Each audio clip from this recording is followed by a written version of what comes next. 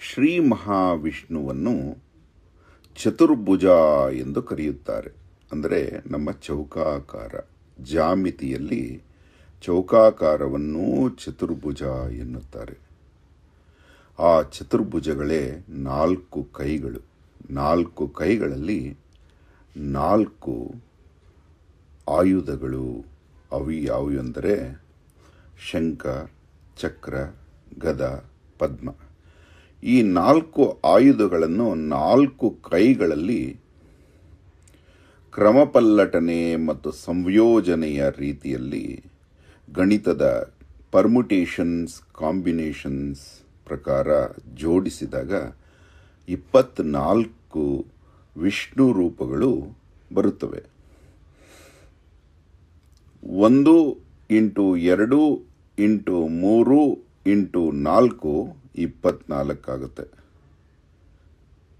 ಆ ಇಪ್ಪತ್ನಾಲ್ಕು ರೂಪಗಳು ಒಂದು ಕೇಶವ, ಶಂಖ, ಚಕ್ರ, ಗದಾ ಪದ್ಮವನ್ನು ಅನುಸರಣೀಯ ರೀತಿಯಲ್ಲಿ ಹೊಂದಿದ್ರೆ ಎರಡು ನಾರಾಯಣ, ಪದ್ಮ, ಗದ, ಚಕ್ರ, ಶಂಖವನ್ನು ಹಿಡಿದಿರುವುದು ನೋಡಿ.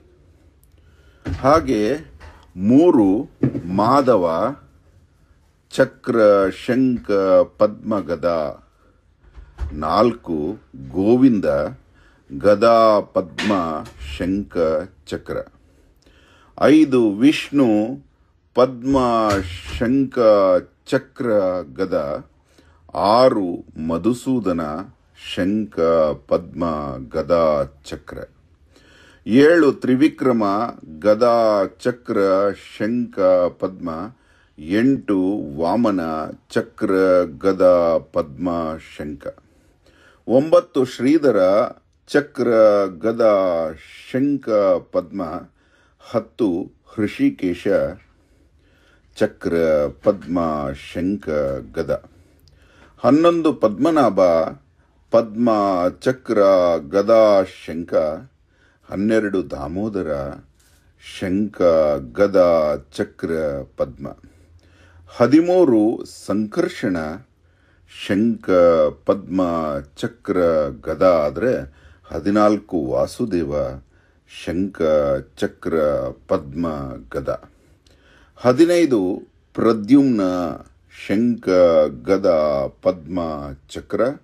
ಹದಿನಾರು ಅನಿರುದ್ಧ ಗದಾ ಶಂಖ ಪದ್ಮ ಚಕ್ರ ಹದಿನೇಳು ಪುರುಷೋತ್ತಮ ಪದ್ಮ ಶಂಕ ಗದಾ ಚಕ್ರ ಹದಿನೆಂಟು ಅಧೋಕ್ಷಜ ಗದಾ ಶಂಕ ಚಕ್ರ ಪದ್ಮ.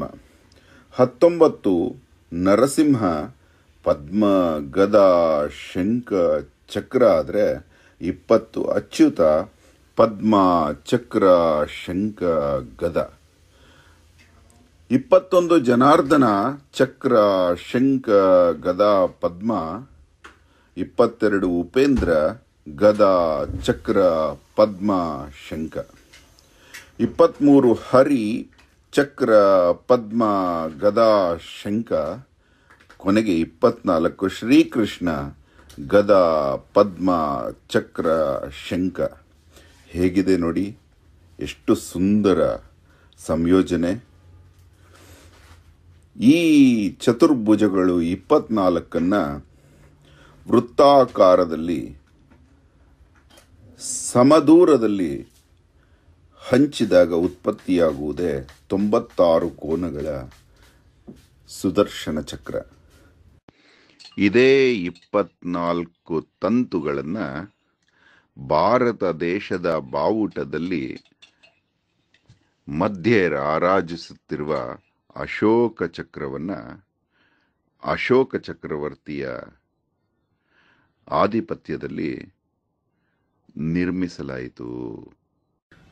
ನಮಸ್ತೆ ಗೆಳೆಯರೆ. ನಿಮಗಿಂದು ನಾವು ಒಂದು ಅದ್ಭುತ ಸಂದೇಶವನ್ನ, ಅದ್ಭುತ ವಿಚಾರಧಾರೆಯನ್ನ ಅದ್ಭುತ ವಿಶೇಷತೆಯನ್ನ ತೋರಿಸುತ್ತೇನೆ ಬನ್ನಿ. ನೋಡಿ, ಎಷ್ಟು ಚಂದ ಇದೆ. ಏನಿದು? ಏನಿದು? ಹೀಗಿದೆಯಲ್ಲ, ಇಷ್ಟು ಸುಂದರವಾಗಿದೆಯಲ್ಲ ಎಂದು ನೀವು ಅಂದುಕೊಳ್ಳುತ್ತಿರಬಹುದು. ನಮ್ಮೆಲ್ಲರ ಅಚ್ಚುಮೆಚ್ಚಿನ ಭಗವಂತ ತಿರುಪತಿ ತಿಮ್ಮಪ್ಪನ ದರ್ಶನ ಇದು. ತಿರುಪತಿ ಬಾಲಾಜಿ ವಿಷ್ಣು ಯಂತ್ರ ಇದು.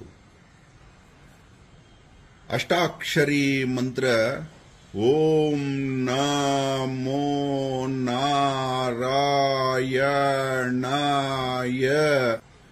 ಈ ಅಷ್ಟಾಕ್ಷರಿ ಮಂತ್ರ ಓಂ ನಮೋ ನಾರಾಯಣಾಯ. ಆ ಅಷ್ಟ ನಾಗಗಳು ತೋರಿಸುತ್ತಿವೆ. ನೋಡಿ. ವಾಸುಕಿ ಅನಂತ ಶೇಷ ಪದ್ಮನಾಗ ಕಂಬಲಂ ಶಂಖಪಾಲ ತಕ್ಷಕಂ ಧಾರ್ತರಾಷ್ಟ್ರಕಾಲಿಯಂ. ಎಷ್ಟು ಚಂದ ಇದೆ ನೋಡಿ.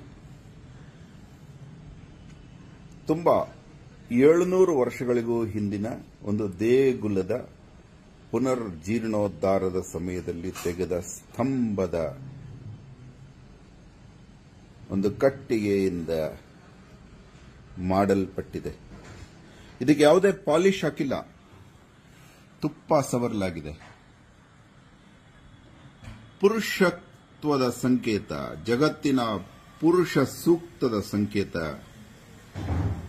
ಪ್ರಕೃತಿಯ ಪತಿ ಪುರುಷನ ಸಂಕೇತ, ಮೇಲ್ಮುಖದ ತ್ರಿಕೋನ ಮಧ್ಯದಲ್ಲಿ ಬಿಂದುವಿನ ಸುತ್ತಲೂ ಇದೆ. ಅದರ ನಂತರ ಪುರುಷ ಪ್ರಕೃತಿಯರ ಸಂಕೇತ ಲಕ್ಷ್ಮೀನಾರಾಯಣನ ಸಂಕೇತ ಈ ನಕ್ಷತ್ರಾಕಾರ ಇದೆ. ಅದರ ಸುತ್ತಲೂ ಇರೋದೇ ನಿಮಗೆ ಆಶ್ಚರ್ಯ ಮೂಡಿಸುವಂತದ್ದು ನೋಡಿ. ಈ ಒಂದು ಜಾಲಂಧರ ಹೇಗಾಯಿತು? ಈ ಒಂದು ಸುದರ್ಶನ ಚಕ್ರ ಹೇಗಾಯಿತು? ಈ ಒಂದು ಸುದರ್ಶನ ಚಕ್ರದ ಆ ಮೊನಚಾದ ಚೂಪಾದ ಆಕೃತಿಗಳು ಹೇಗೆ ಬಂದವು? ವಿಷ್ಣುವಿನ ಇಪ್ಪತ್ನಾಲ್ಕು ರೂಪಗಳ ಸಂಕೇತ ಇದು. ಇಪ್ಪತ್ನಾಲ್ಕು ಚೌಕಾಕಾರಗಳನ್ನ ಚತುರ್ಭುಜಂ ಅಂತ ಕರೀತಾರೆ ವಿಷ್ಣುವನ್ನ. ಆ ಚತುರ್ಭುಜವನ್ನ ಚೌಕಾಕಾರ ಎನ್ನುತ್ತಾರೆ. ಇಪ್ಪತ್ನಾಲ್ಕು ಚೌಕಾಕಾರಗಳನ್ನ ಹೀಗೆ ವೃತ್ತದಲ್ಲಿ ಹಬ್ಬಿದರೆ ಅವಾಗ ತೊಂಬತ್ತ ಆರು ಮೊನಚಾದ ಸುದರ್ಶನ ಚಕ್ರದ ಭಾಗಗಳು ಬರುತ್ತದೆ. ಆ ಸುದರ್ಶನ ಚಕ್ರದ ನಂತರ ಅಷ್ಟ ನಾಗಗಳ ಶೇಷಶಾಹಿಯಾಗಿ ಮಲಗಿರುವಂತಹ ವಿಷ್ಣು ಬಾಲಾಜಿ ಸ್ವರೂಪದಲ್ಲಿ ಕಾಣುತ್ತಾನೆ. ಅದರ ನಂತರ ಎಂಟು, ಹದಿನಾರು ಹದಿನಾರು, ಮೂವತ್ತೆರಡಾಗಿ ಜಗತ್ತಿನ ಮೂಲೆ ಮೂಲೆಗೂ ಪಸರಿಸಿದ ಪ್ರಕೃತಿಯ ಸಂಕೇತವಾಗಿ ಆ ಮೂವತ್ತೆರಡು ದಳಗಳು ಆಗತ್ತೆ. ಅದರ ನಂತರ ಸದನತ್ರಯಂಚ ಓಂ ಭೂರ್ ಭುವಸ್ಸುವಹ ಆ ಸದನತ್ರಯಂಚ ಪೂರಾ ಬ್ರಹ್ಮಾಂಡದ ಸಂಕೇತವಾಗಿ ನಾಲ್ಕು ದ್ವಾರಗಳನ್ನು ಹೊಂದಿದೆ. ಈ ಒಂದು ಅದ್ಭುತ ಬಾಲಾಜಿ, ತಿರುಪತಿ ಬಾಲಾಜಿ ವಿಷ್ಣು ಯಂತ್ರವನ್ನ ಮೊಟ್ಟ ಮೊದಲನೇದಾಗಿ ಅಹೋರಾತ್ರ ಮಾಡಿದಾಗ ನಿಮ್ಮ ಹತ್ರ ತೋರಿಸ್ಬೇಕು ಅಂತ ಅನ್ನಿಸ್ತು. ನೋಡಿ ಎಷ್ಟು ಸುಂದರ. ಇದನ್ನು ಮಾಡಬೇಕಾದಾಗ ಆದ ಅತುಲಿತ ಆನಂದ ಹೇಳಲಿಕ್ಕಾಗ್ತಾ ಇಲ್ಲ. ವಿಶ್ವಕರ್ಮನ ಮಗನ ದಾರುಜ ಶಿಲ್ಪಶಾಸ್ತ್ರದಿಂದ, ದಾರು ಅಂದರೆ ಸತ್ತ ಮರದ ಭಾಗಗಳಿಂದ ಮಾಡುವ ಒಂದು ಶಿಲ್ಪಶಾಸ್ತ್ರ. ಮಾಡಿದ ಸತ್ತ ಅಂದರೆ ಸತ್ವಿಕ ಅಂತ. ತನ್ನನ್ನ ನೋಡಿ, ಆ ಕಾಲದಲ್ಲೇ ಮರಗಳು ತನ್ನ ಜೀವ ಹೋದ ನಂತರ ತಾವು ಸದ್ಬಳಕೆಗೆ ಒಳಗಾಗಲಿ ಅಂತ ಬಯಸ್ತಾ ಇದ್ವಂತೆ. ಆದ್ದರಿಂದ ನಮ್ಮ ಪುರಾತನ ಏಳುನೂರು ವರ್ಷಗಳು, ಸಾವಿರ ವರ್ಷಗಳ ಹಿಂದೆ ಅಲ್ಲಿ ಅಂದಿನ ಕಾರ್ಪೆಂಟರ್ಸ್ ಯಾವತ್ತೂ ಮರವನ್ನ ಕೊಲ್ಲುತ್ತಿರಲಿಲ್ಲ. ಅಷ್ಟೇ ಬಿಡಿ, ಆಫ್ರಿಕಾದಲ್ಲಿ ಕೂಡ ಅಷ್ಟೇ ಮರಗಳನ್ನ ಸತ್ತ ನಂತರವೇ ತೆಗಿತಾ ಇದ್ರು. ಆ ಒಂದು ವಿಧಾನದಲ್ಲಿ ಮಾಡಿದಂತಹ ಈ ತಿರುಪತಿ ಬಾಲಾಜಿ ಶ್ರೀ ಮಹಾವಿಷ್ಣು ಯಂತ್ರ ಇದು. ತುಂಬ ಖುಷಿಯಾಯಿತು. ಇದನ್ನು ನಿಮ್ಮಲ್ಲಿ ಹಂಚಿಕೊಳ್ಳದೆ ಉಳಿಯಲಾಗಲಿಲ್ಲ.